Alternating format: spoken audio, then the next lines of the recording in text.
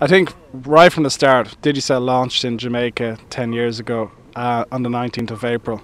Our goal was to break monopolies that were in existence across the Caribbean, to make communication affordable and accessible for everyone. Previously, it had just been for rich people. We wanted to make sure every man, woman, and child can afford to have access to communication. So, this project is very much a natural extension of that vision that Digicel has had now we have in secondary schools, in all government secondary schools going forward,